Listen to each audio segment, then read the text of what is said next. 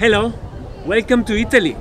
Well, welcome to Milan. I just arrived, well, two hours ago. Now it's one in the afternoon. First thing in the head is uh, Italian breakfast, the cappuccino with brioche. Perfect. I'm here, I'm waiting for my girlfriend.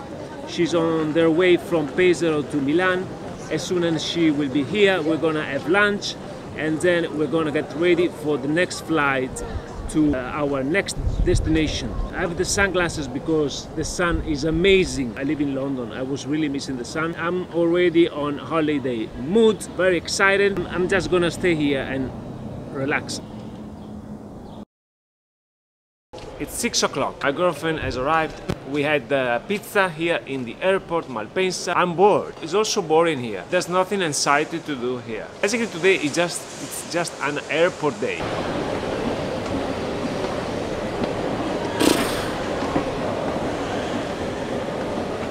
I did the check-in. This is my airplane.